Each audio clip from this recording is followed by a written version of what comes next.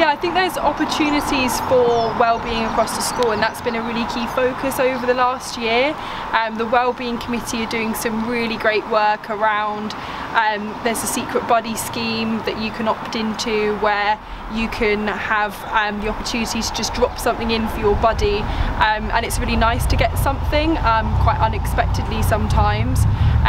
We also had a food fest on one of the last staff planning days where everyone was able to sort of bring in